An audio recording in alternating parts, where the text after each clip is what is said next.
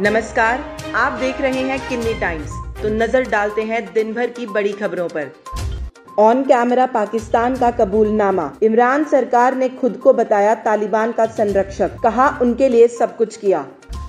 तालिबान से जंग में अगुवाई करे अफगान नेता। जाने बाइडन ने आखिरी फ़ोन कॉल पर गनी को क्यों दी ये सलाह? दिल्ली, नोएडा समेत पूरे एनसीआर में आज भी मानसून जमकर बरस रहा है। मौसम विभाग ने अगले कुछ घंटों के दौरान एनसीआर में भारी बारिश का अनुमान जताया है। अफ़गानिस्तान में पिक्चर अभी बाकी है। पंजशीर के शेरों ने हमला करने आए साढ़े तीन सौ तालिबानी लड़ाकों को मार गिराया।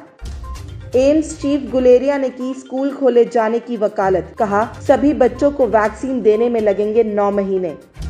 यूपी में साइकिल को रफ्तार दे पाएगी सपा। अखिलेश के महागठबंधन की रणनीति में फंसा ये बड़ा पेच। उत्तर प्रदेश के उन्नाव, एक साल से दो बेटियों का रेप कर रहा था होमगार्ड। पत्नी ने कोतवाली जाकर दर्ज कराया case. Supertech Emerald case 200 crore से ज़्यादा है दोनों टावरों के निर्माण की लागत। टूटने में भी आएगा करोड़ों का खर्चा।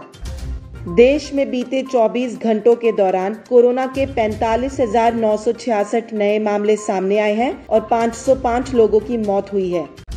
तमाम बड़ी खबरों के लिए बने रहिए किन्नी टाइम्स के साथ। वीडियो को लाइक करें, चैनल को सब्सक्राइब करना ना भूलें।